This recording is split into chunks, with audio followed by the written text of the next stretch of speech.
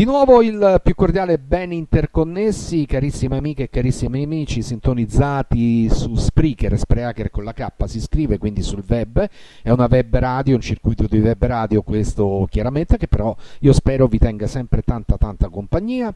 In video oh, sulla mia pagina personale Roberto De Angelis ancora, eh, ci sono ancora le trasmissioni di Radio In Palermo 102, quindi chi le vuole rivedere può andare o sulla mia pagina personale o sul Fraccalcio realtà The Original o sulla pagina Facebook Radio in eh, Palermo. Saluto tutti gli amici che ci seguono da Palermo, tutti quelli che ci seguono da San Pier Niceto eh, di Messina. Un saluto va a Radio Molise. Eh, Città d'Italia, mi dicono che sia così, quindi una web radio appena costituita che si è consorziata con noi. Un saluto quindi a tutta la regione Molise perché ci vengono ripetuti, viene, vengono ripetuti i files in diretta e in differita anche lì. E un saluto va agli amici dell'Ecuador, a dei DJ equadoregni che ci tengono tanta compagnia con la loro dance music eh, con la loro electro music e la musica latino-sudamericana e nel frattempo però eh, ripetono anche le nostre trasmissioni e io sono contento che vicino Lima ci siano tre italiani che nella vita svolgono la professione di camerieri e che ci ascoltano mm, eh, a quanto pare molto intensamente. Uno di questi tre è della Roma, meno male, festeggiamo. L'altro, ahimè, della Lazio, e vabbè, non si possono avere tutte le ciambelle col buco e l'altro addirittura è del Milan. Però, eh, a parte le vicissitudini sportive che sono marginali, salutiamo Alfredo, Enrico ed Andrea. Ragazzi, mi raccomando, tenete duro, tenete testa, ma avete scritto che non avete la minima voglia di tornare in Italia, ma se lì, io vi do un consiglio, se lì vi trovate bene e vi siete sistemati in una maniera abbastanza oppositiva che dir si voglia, e beh, la vostra vita poi la vedrete piano piano. Questo al di fuori dell'essere del Milan, della Roma, della Lazio, della Juventus e via discorrendo. Veniamo a noi però. Questa è la Roma. Questa è la Roma. Naturalmente abbiamo adesso in collegamento Gabriele Tarangelo. Buon pomeriggio a te, Gabriele. Un caloroso saluto a te Roberto, ben interconnessi ovviamente a tutti gli amici web radio ascoltatori di Radio 1. Allora, Sport Radio, perché Gabriele fa parte della redazione sportiva di Sport Radio del uh, direttore eh, Fabio Pezzotti che eh, nella, durante questa settimana, anche se dalla zona di Amalfi, dove stava beato lui in uh, vacanza, uh, ha emesso altri eh, tre file di trasmissione e quindi noi ne prendiamo nota uh, che Sport Radio fa di questi file e continuo a ripetere ancora una volta, e Tarangelo mi, mi darà conferma oppure no, che c'è questo file misto dove si parla di attualità, di informazione, di sport, di cultura, di tutto insomma, no? Confermo assolutamente Roberto, è un file completo nel quale appunto vengono racchiusi tutti i temi principali relativi appunto a diverse tematiche come hai giustamente accennato tu, assolutamente oh, sì. Nel secondo invece si parla solo di più di bellezza estetica perché voi nel vostro staff avete un'estetista che è un'espertissima del settore, ovvero sia Elena Giovanna Ricciotti, corrisponde questa indiscrezione? Confermato, chi meglio di lei, anzi approfittiamo, cogliamo l'occasione per salutare Elena ovviamente, lei ovviamente è esperta del settore, sappiamo che ha proprio un negozio che si occupa di questo, quindi chi meglio di lei potrebbe rappresentare questo tipo di, di informazione? Anche perché come ben sai il beauty con noi adesso negli ultimi dieci anni è riuscito ad aprire qualche breccia, ma con le donne è un oceano Pacifico e un oceano Atlantico mixato insieme, no? Prodotti, sottoprodotti, creme, sottocreme, cremine, chi più ne ha più ne metta, o mi sbaglio io? No, no, chi più ne ha più ne metta è proprio il tema, diciamo, le parole giuste hai colto. Sappiamo che anche, anche i maschietti sono diventati molto, diciamo, narcisisti, ecco, diciamo così. Quindi anche perché poi capita la scena comica che nello stipetto del bagno, sia che tu sia sposato da 4 anni o da 33, la tua schiuma da barba cambia sempre posizione, nel senso c'è la crema per la notte, la crema per l'alba, la crema a mezzogiorno, ma io qui c'avevo la schiuma da barba, ma perché tocchi? Non trovo più niente, ma non sei capace a vedere? Sposta un po' di cose e le trovi. L'ho trovata in quattordicesima posizione quando stava sempre in testa la mia eh, schiuma da barba, non so se da te capita la stessa cosa. Ordinaria amministrazione, Roberto, è vero, è vero, è verissimo. Oh, poi l'armadio della camera da letto sono sei ante, cinque ante e mezzo sono per lei, la mezza è per te dove pantaloni, camicie, maglioni sono tutti stretti come sardine in scatola. Sì, esattamente, no, bisogna, secondo me l'unica soluzione adesso è comprare più armadi possibili proprio per far sì che si possano contenere tutte appunto queste cose. Quindi diciamo che 30 anni di vita, visto che tra me e te passano 30 anni, non hanno cambiato nulla, le donne che tutto, sono sempre... Tutto nella donne, norma, no? assolutamente, non oh. cambia nulla, non cambia nulla. Ma dopo 30 anni sono ancora le padrone di casa, comandano solo loro e decidono tutto loro? Come sempre le donne purtroppo hanno, sono proprio purtroppo sempre loro a comandare eh, per fortuna purtroppo diciamo, diciamo che ovviamente lascia, si scherza lasciamo andare poi sulle cose marginali sulle cose serie chiaramente quando si è coppia si decide insieme ci mancherebbe altro. Oh veniamo a noi. Allora eh, qui ci sono, c'è stato, mi dicono, l'allontanamento di Sebbino Nela dalla S Roma femminile, se non ho capito male e tutti stanno commentando in maniera molto accesa. Io però dico, eh, pure a microfoni accesi chiaramente, che se noi non conosciamo le esatte motivazioni di questo esonero dalla carica di Sebbino Nela, perché non se n'è andato di sua volontà, non ha rassegnato le dimissioni, eh, che cosa commentiamo? Che ci dispiace amaramente, questo sì, ma più di questo che possiamo dire Gabriele? Possiamo dire che dispiace sempre vedere comunque un simbolo come Sebino Nela, ovviamente conosciamo tutti, al quale non viene rinnovato il contratto, lui che per la Roma ha dato diciamo, corpo e anima, quindi lo sappiamo perfettamente. Sono comunque delle notizie che fanno dispiacere soprattutto ai tifosi romanisti di, anche di vecchia data, ma anche ai giovani che conoscono ovviamente questa figura ingombrante, tra virgolette. Oh, figura ingombrante per qualche quadro, cioè, e vedi, poi si entra nel campo ipotetico e tutto può essere confermato e tutto può essere negato, no Gabriele? Certo, ovviamente poi le dinamiche esatte secondo me rimangono sempre nelle quattro mura di Trigoria, ovviamente. Noi sapremo sempre il minimo in relazione a queste vicende secondo me, ma la dinamica esatte poi non ce le diranno mai nell'esattezza, quindi prendiamo atto di questo ennesimo allontanamento di un altro simbolo di Roma a malincuore, però purtroppo questa è la realtà quindi le figlie hanno anche segnalato questa cosa, lo hanno fatto presente sui social, eh, questo, appunto questa situazione, eh, ne prendiamo atto, non possiamo fare diversamente purtroppo Alberto. Eh, ho visto poi la reazione delle figlie di Sebino Nela che insomma dice che papà il proprio papà non doveva essere trattato in questo modo.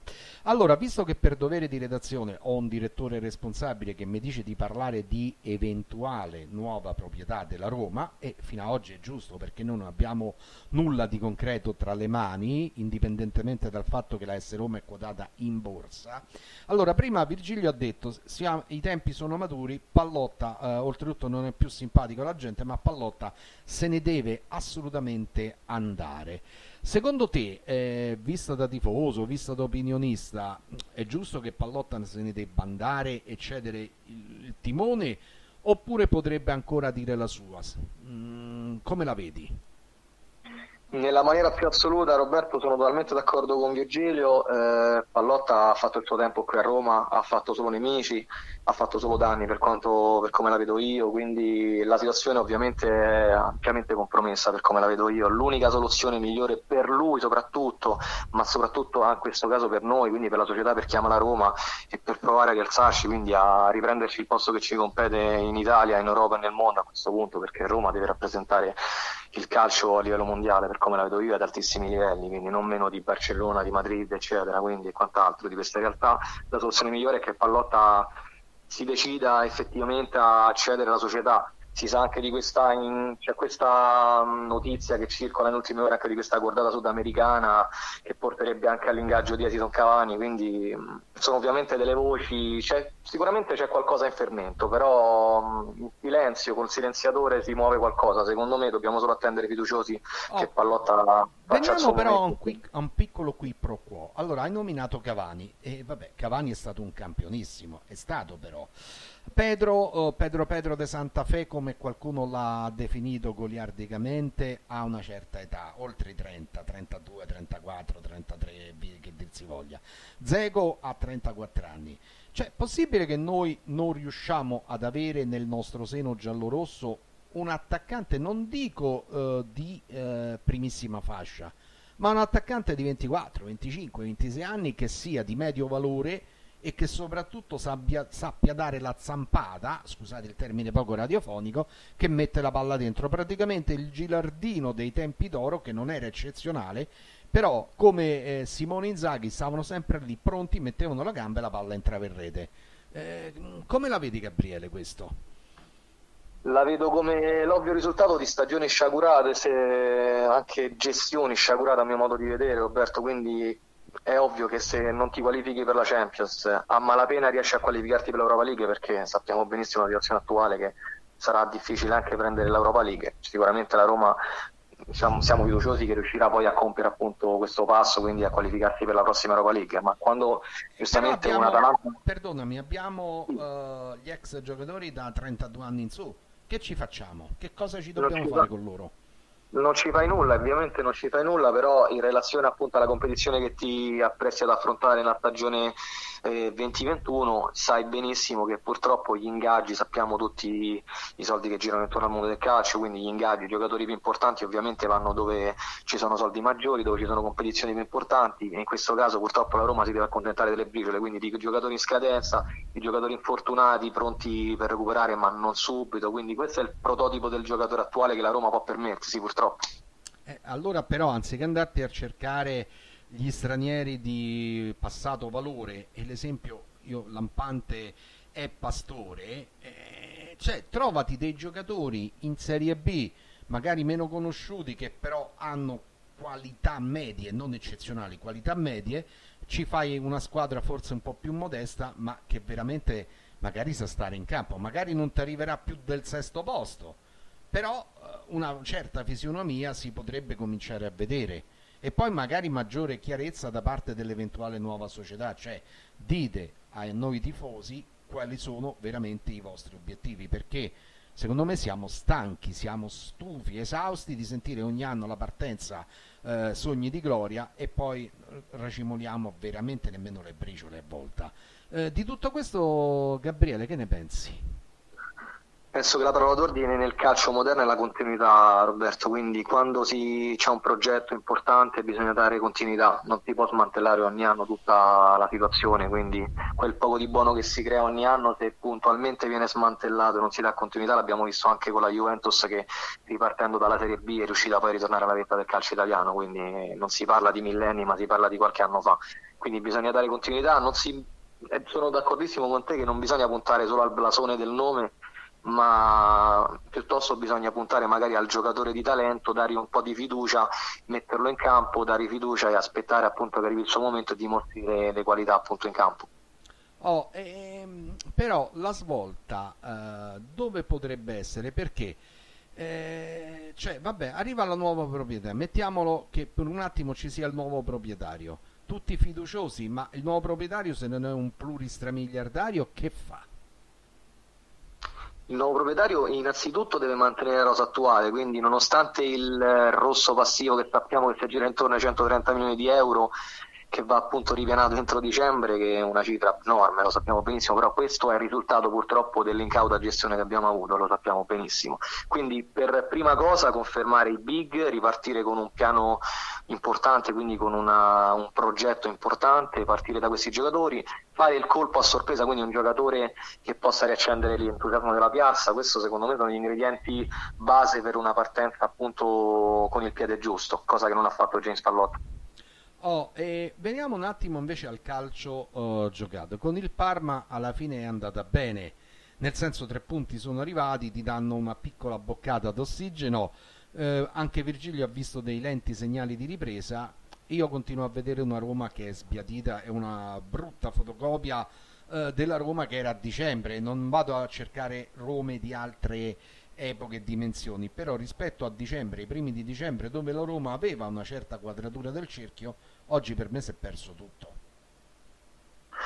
Non ci illudiamo Roberto, io direi il titolo per questa partita una Roma che vince ma non convince, perché ho visto comunque purtroppo i soliti difetti, il Parma è poca cosa, l'abbiamo visto anche in campo, ma nonostante questo è riuscito comunque a metterci in difficoltà, soprattutto nel primo tempo, poi la Roma magari ha tirato fuori un po' il carattere, ho visto un po' più di voglia, un po' più di, di quella appunto di, quella, di quel qualcosa che serve in campo proprio per cercare di portare poi tre punti a casa. Però comunque se ci illudiamo con questi tre punti ovviamente poi non, non ci dimentichiamo che Fabri ha avuto questa svista clamorosa. Dobbiamo anche essere onesti non dobbiamo essere di parte non dobbiamo essere sportivi. Sappiamo benissimo che anche il secondo rigore era netto quindi in questo caso c'è anche andata di lusso direi, però non mi illudo assolutamente perché quello che ho visto in questa partita è un leggerissimo passo avanti rispetto alla prestazione offerta a Napoli, anche lì abbiamo visto dei leggeri segni di risveglio, ma non è la Roma che conosciamo assolutamente. Oh, leggeri propositi di risveglio. A Napoli c'è stato un gol capolavoro di Insigne che ci ha piegato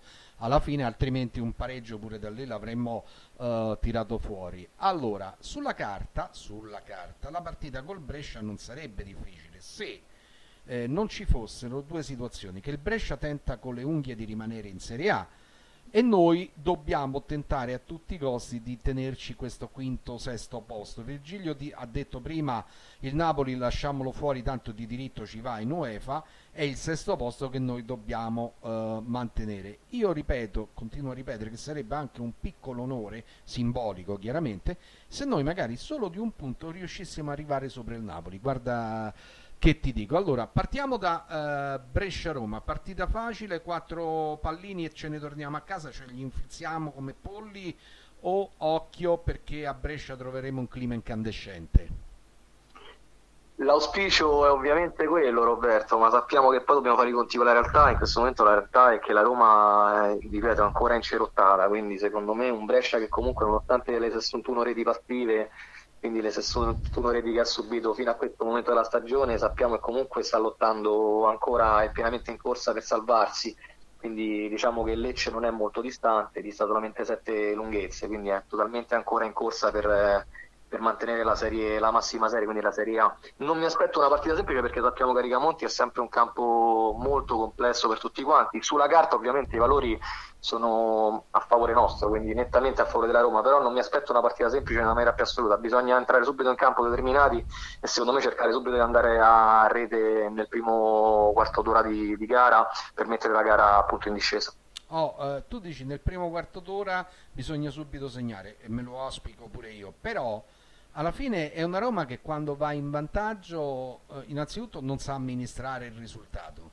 Deve giocare a trazione anteriore per poter produrre qualcosa però se i giocatori vanno al piccolo trotto io penso che le rondinelle del Brescia ci daranno del filo da torcere Vuoi sapere qual è la mia più grande preoccupazione, Roberto? Ti dico subito, ti rispondo immediatamente: l'ennesimo esperimento di Paolo Fonseca. Vorrei non avere l'ennesimo esperimento, ma dare un po' di continuità, magari a una formazione tipo, insomma. Quindi non vedere questi esperimenti incredibili secondo me vedere un Cristante in difesa centrale che abbiamo visto purtroppo poi ovviamente il giocatore viene messo in difficoltà al di là dei limiti tecnici o meno insomma giocare comunque fuori ruolo con un trequartista che viene schierato difensore centrale è un qualcosa di improponibile secondo me eh, eh, eh io dico aggiungo altro veleno eh, su questo fatto perché dico che eh, gli sta facendo percorrere la stessa strada tecnico-tattica intendo eh, chiaramente che ha fatto percorrere ad Alessandro Florenzi fino a che non se n'è andato via, nel senso l'hanno messo nelle condizioni di doversene andare. Eh, perché se tu mi provi um, Cristante in diversi ruoli, ormai ne ha fatti 5 di ruoli, mancava quello da difensore e gliel'ha fatto anche fare.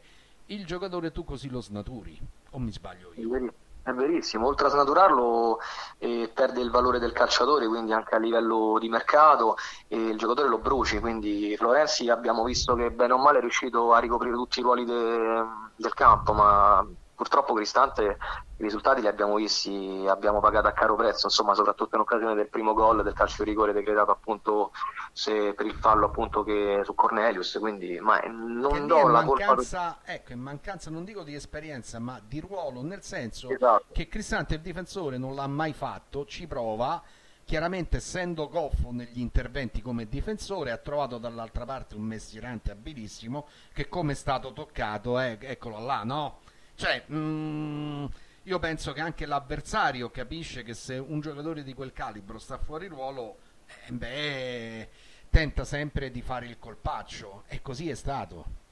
Certamente, ovviamente un calciatore forte come Cornelius è mestierante, quindi una prima punta forte anche fisicamente, sapeva benissimo avere di fronte a sé un giocatore che non è un difensore centrale di ruolo. La cosa che mi fa ancora più pensare è che la squadra è stata costruita male, tu comunque non, non ci dimentichiamo che hai un Fazio in panchina, quindi già da lì capisci la, la fiducia che ripone il mister in questo giocatore che è pari allo zero. Però anche Juan Jesus è diventato a questo punto un ex giocatore della Roma per non parlare di Juan Jesus ovviamente, ma nelle gerarchie di Fonseca secondo me Juan Jesus è ancora più dietro di Fazio, quindi citavo Fazio proprio perché lo vedo leggermente avvantaggiato rispetto al brasiliano. Oh, e poi tu hai Santon infortunato, se no sarebbe sceso in campo Santon a quel punto.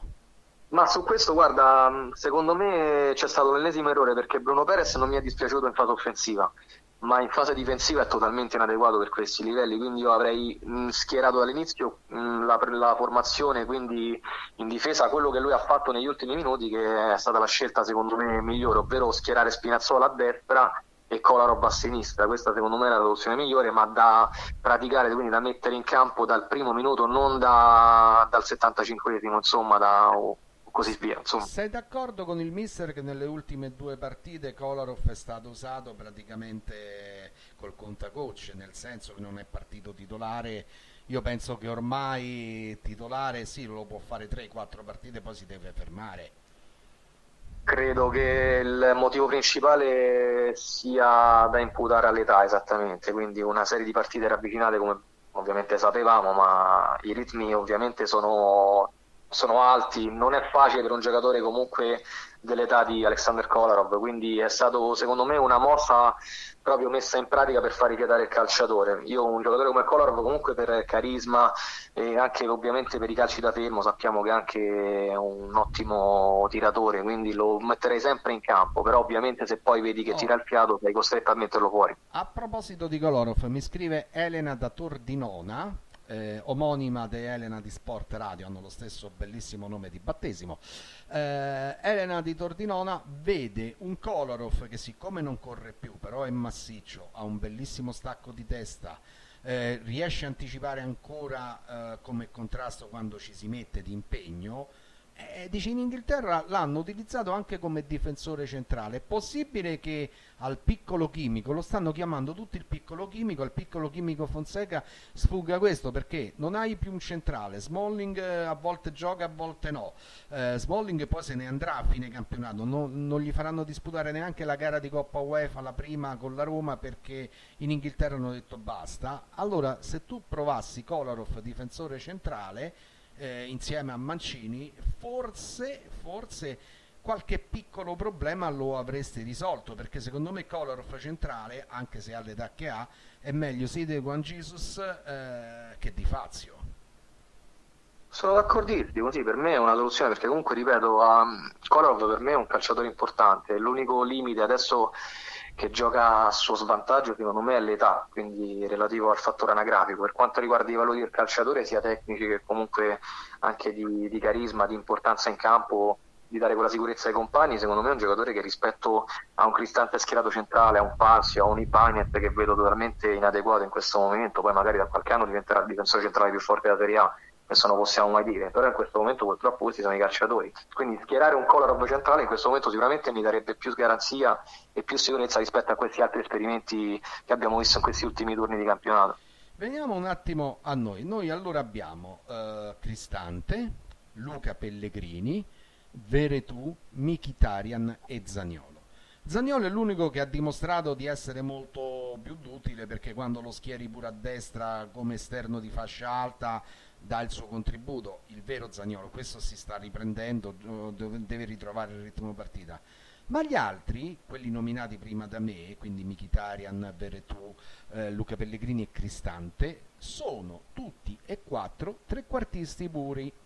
All'epoca mia si diceva che il trequartista era la mezzala di punta, quella che si metteva dietro gli attaccanti e suggeriva l'ultimo passaggio. Allora, a sto punto, se tu avevi Luca Pellegrini, io posso capire, prendi Cristante perché devi alternare quando l'uno dei due magari infortunato, squalificato, ci può stare.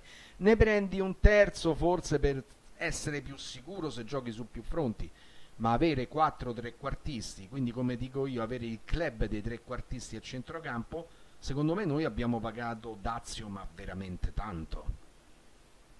Sì, immagino ti riferisci a Lorenzo Pellegrini, quindi il eh, centrocampista. Sì, scusa, perdonami, io cito sempre Luca Pellegrini perché io lo vedevo... Luca Pellegrini avrebbe fatto comodissimo quest'anno. Eh, per Spinazzola, eh? no, cioè, dobbiamo anche vedere questo, Spinazzola è un simpaticissimo ragazzo, però Luca Pellegrini, a meno che non si brucia per la sua tempra caratteriale, occhio, eh, sarà il terzino sinistro della Juventus del futuro. Eh, io esatto. quando penso che poteva essere il nostro, sinceramente non ci sto bene ti stai mangiando i gomiti. Lo stesso ho fatto io quando è stato ceduto, perché è un giocatore secondo me molto valido, un difensore, quindi un terzino sinistro che poteva anche, in questo caso, vedi che rilacciamo il discorso Kolarov, poteva anche far ripiedare Kolarov in questo frangente di stagione. Comunque sì, la, la, massiccia presenza di questi giocatori secondo me è una ennesima conferma di come la squadra è stata costruita nella maniera non adeguata, quindi con dei dirigenti non adeguati, un direttore sportivo secondo me molto, come dire, molto non, non, pronto per una piazza come Roma, non lo so, c'è stato dall'inizio di stagione diversi errori che poi ovviamente arrivi a fine stagione li paghi tutti e questi sono i risultati più ovvi Roberto. Mediocri giocatori di 30 anni e passa. Mi scrive adesso Milena dall'Acqua Cetosa, ma ci sono in Serie B dei giocatori che forse non saranno eccezionali, hanno 10 anni di meno di questi residuati bellici addirittura eh, che però potrebbero dire la loro, qualcuno potrebbe fallire, qualcuno potrebbe riuscire a metà e qualcuno potrebbe addirittura fare la differenza a centrocampo. Che ne pensa Gabriele? Penso che siamo stesso, sulla stessa lunghezza d'onda, sono totalmente d'accordo, ci sono dei calciatori, soprattutto italiani, molto validi anche nella serie cadetta, quindi perché non puntare su questi calciatori? Perché andare sempre a cercare fuori dai confini nazionali magari un giocatore solo per il nome, solo perché comunque negli anni passati ha dato un qualcosa, ma dobbiamo fare i conti con la realtà e con lo stato attuale, quindi bisogna valutare i giocatori per il momento storico attuale, quindi in questo caso mi trovi totalmente d'accordo che bisognerebbe avere un po' più di coraggio e schierare appunto questi calciatori magari meno blasonati che però poi in campo riescono a dare molto di più rispetto a un giocatore che magari a fine carriera oppure non riesce più per una serie di motivi a dare quel qualcosa che serve appunto per eh, dare una mano effettiva poi alla squadra per portare a, le vittorie a casa. Quanto manca il faraone alla Roma, Gabriele? Tantissimo, secondo me quello è stato un errore proprio l'ennesimo errore, vedi, ci ricolleghiamo sempre poi ai soliti discorsi. Leggere di, di Stefano Sciarawi che va in Cina per soldi mi fa piacere, poi ho letto anche con piacere le notizie che vorrebbe tornare a Roma, ma in questo preciso momento fossi lui fino a che non c'è il cambio di proprietà ci penserei molto attentamente proprio perché sappiamo che c'è il caos più totale, un terremoto qui a Roma, quindi pense... mi fa molto piacere sapere che è rimasto attaccata alla maglia, però mm, sa quello che comunque um, lo aspetta se dovesse tornare in questo momento. Poi ripeto, se tra una settimana abbiamo un cambio di proprietà siamo tutti strafelici, Roberto. Indiscrezioni che portano ad una delle fate di un canale televisivo nazionale che vediamo tutti Infatti, eh, questa fata all'orecchio mi ha detto che il signor Mandzukic non dobbiamo considerarlo un centravanti perché la Juventus l'aveva adattato al ruolo di centravanti, ma lui si sente molto ala. Allora, è vero che ha 34 anni, Mandzukic ha rescisso il contratto con la squadra del Qatar, è libero e questa bella fata, eh, posso dire il nome Emanuela? No, eh, quindi è una delle fate di quel canale televisivo che vediamo tutti, lo ripeto ancora una volta, eh, mi ha detto che Mandzukic sarebbe molto favorevole a venire alla Roma. Certo vuole delle garanzie, vuole vedere che squadra si ha, perché si sa allo sbando, non penso che Mandzukic rimanga senza contratto, fa più bella figura, tanto non muore di povertà. Mandzukic vicino a Zeco si potrebbe fare?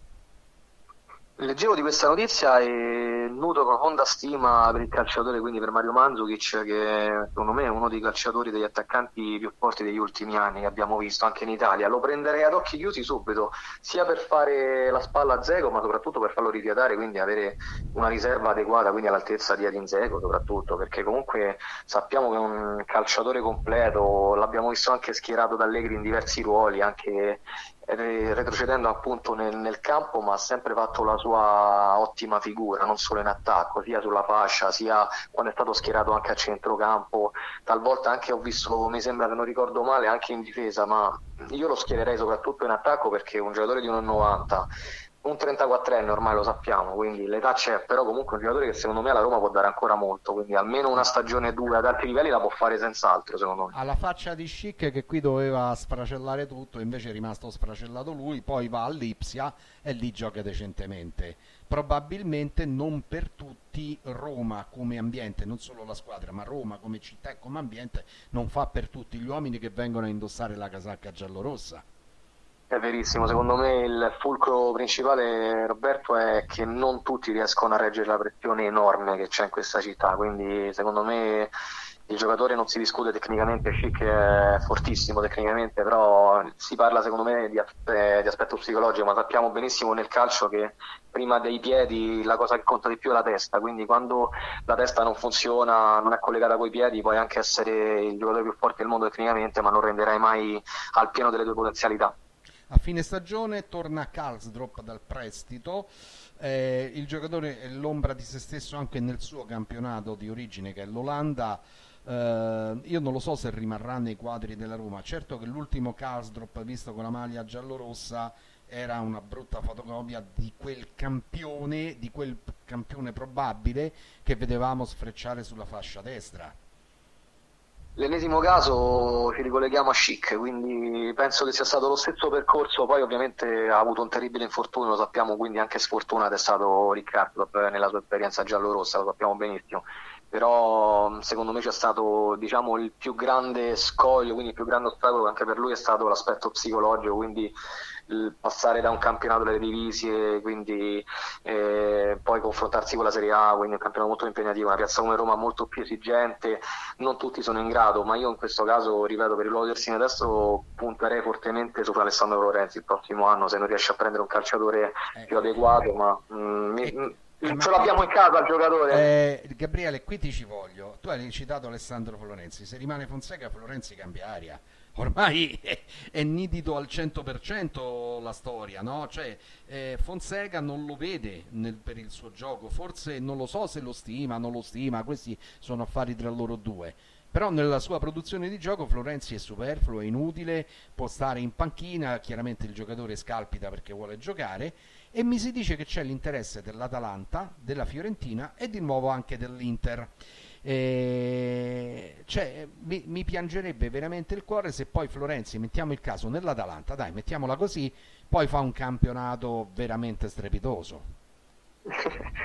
mi hai preceduto, mi hai preceduto, stavo per dire la stessa cosa, quindi non solo Atalanta, ma come hai detto tu c'è la Fiorentina fortissima sul calciatore, quindi tra l'altro ho visto anche che ha postato su, sui social un, un gol fantastico in allenamento col Valencia, proprio, sì, sì, ma sì. Le, le, le, doti del calciatore non le mettiamo in dubbio, purtroppo sì c'è stato qualche scricchiolio con il mister, non corre buon sangue tra i due. È vero. Però, e poi Gabriele, scusa, eh c'è Massimiliano Allegri che ha speso parole di lode per Florenzi negli ultimi tempi, ha detto che se lo porterebbe eh, nella squadra che allena. Che dici?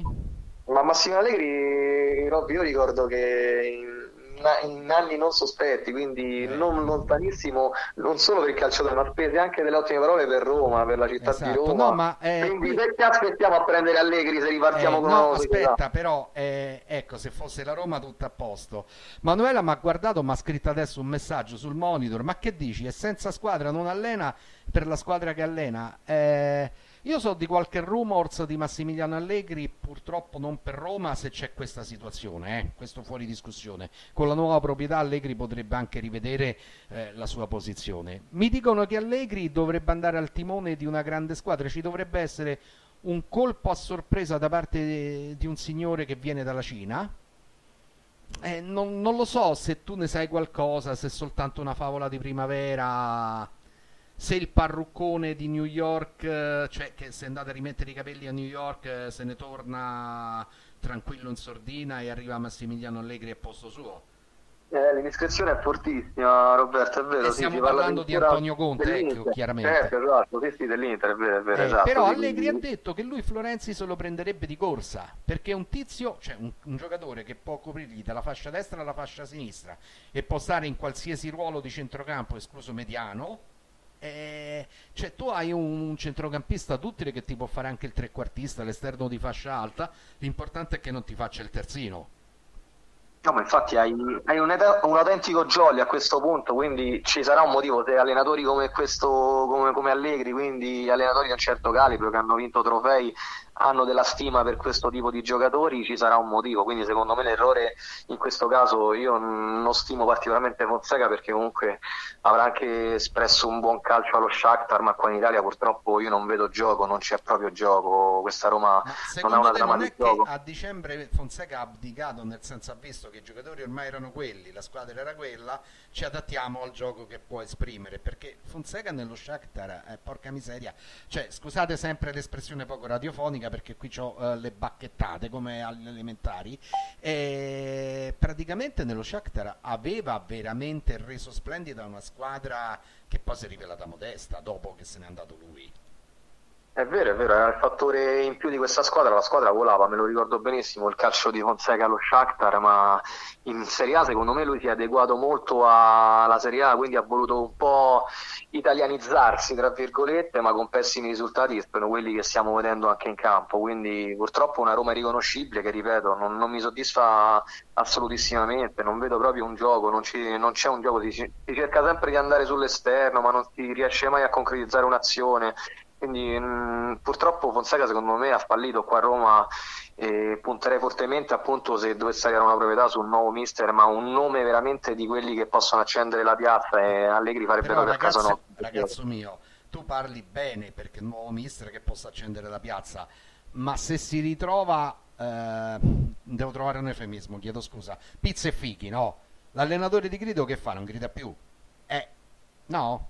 Oppure l'allenatore no, di grido con pizza e fighi ti vince lo scudetto, può essere anche quello, eh, per carità. L'allenatore di grido sicuramente quel pizzico, quel qualcosa in più lo dà, quindi sicuramente quel qualcosa in più te lo dà, però ovviamente una nuova proprietà non solo deve limitarsi ad, um, ad ingaggiare un allenatore di livello, ma oltre all'allenatore deve non solo mantenere i big come dicevo poc'anzi ma soprattutto deve eh, appunto incrementare il valore tecnico della squadra quindi ingaggiare anche dei calciatori sì. di livello poi ci può stare l'anno della, della fortuna e delle combinazioni fortuite e della bravura perché ricordo nel 79 se non vado errato mi pare che Gabriele non era nato all'epoca aveva pochi anni nel 1979 e ci fu Osvaldo Bagnoli che reclutando attenzione reclutando Giocatori ormai ritenuti finiti da, da, da, determinate società, tra cui la S Roma che eh, mandò via Paolo Sirena, eh, Pizzaballa e Franzot, tra parentesi, ancora me lo ricordo come se fosse oggi, e preso altri giocatori scartati dalla Fiorentina, da altre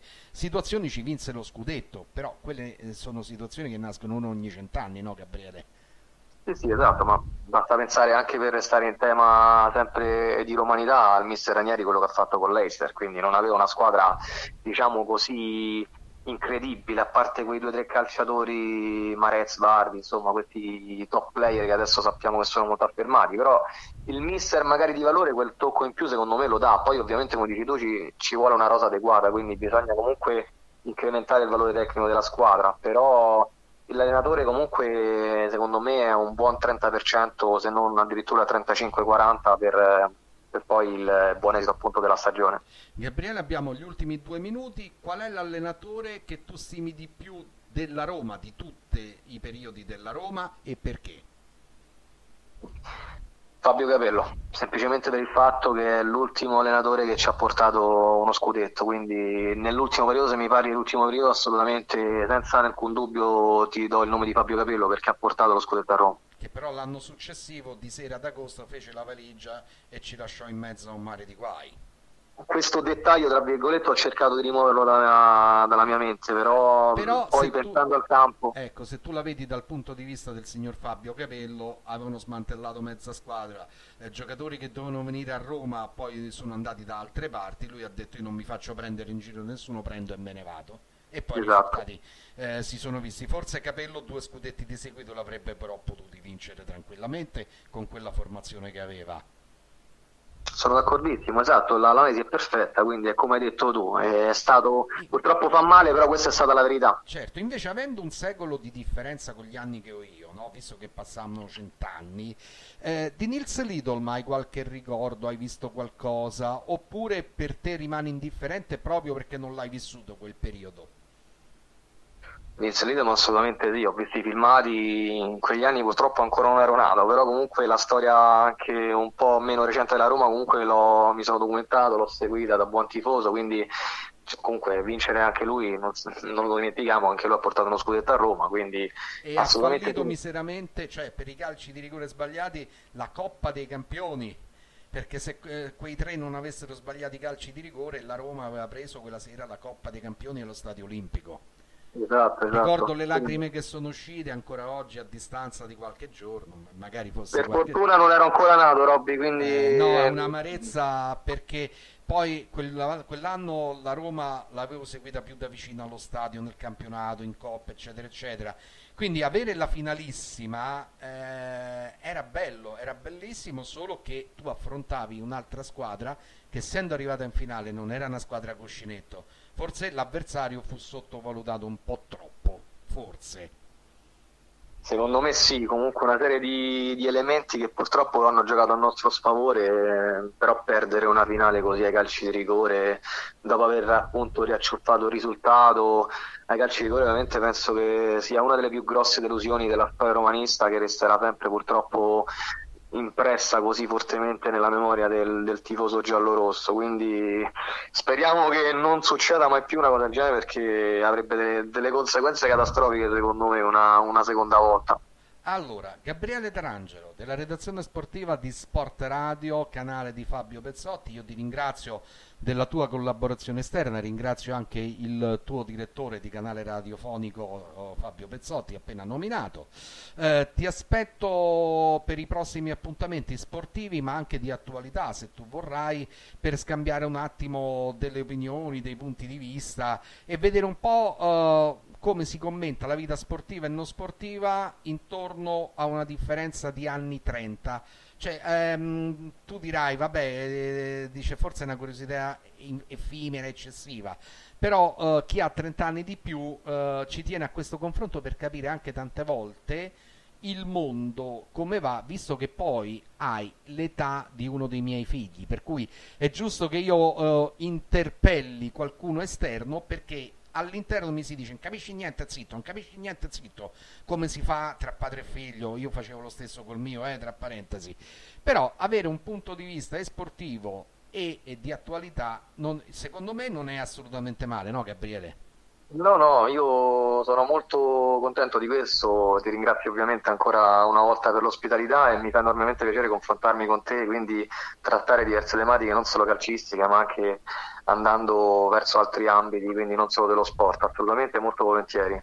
Allora io ringrazio il signor Gabriele Tarangelo, vi invito ad ascoltarlo anche nel file registrato su RDA eh, Radio 1, poi non so se ci sarà una piccola sintesi a Palermo o a Messina di questo file, io spero uh, proprio di sì, e poi potrete ascoltarlo nei commenti dal suo canale di provenienza che è sempre Sport Radio uh, di Fabio Pezzotti, quindi sentiremo a 360 gradi Gabriele Tarangelo, per il momento lo ringrazio della sua cortesia e disponibilità, gli auguro buon fine settimana insieme chiaramente alla sua Tatiana e poi umanamente parlando spero che possa tornare tornare un piccolo raggio di sole in questo buio causato dal Covid e da quattro signori che stanno mescolando nella zuppa del Covid. Ok, così è contento il direttore perché aveva paura di una mia sparata, non c'è stata, però chi vuole capire capisca, eh Gabriele. Grazie a te Robby, sempre fortissimamente, quindi Forza Roma e un carissimo saluto a tutti i radioascoltatori di RDA Radio 1. Grazie, e i saluti ti stanno arrivando in questo momento anche da Antonio De Bartolo che ha notato la nuova voce e dice ma, ma chi è? è Gabriele D'Arangelo che parla come portavoce di Sport Radio di Fabio Pezzotti, poi lo sentiremo prossimamente parlare ancora della nostra amata Roma. Gabriele, eh, usciamo un attimo dai ranghi ufficiali, io spero che si possa parlare parlare bene della Roma già venerdì prossimo, perché se fosse scesa al numero 7 è vero che per assurdo chi se ne frega con una squadra del genere non vai da nessuna parte, però è anche vero che porcaccia miseria eri quinto, eh, arrivare settimo sarebbe veramente un tracollo che non lo so dove potrebbe portare.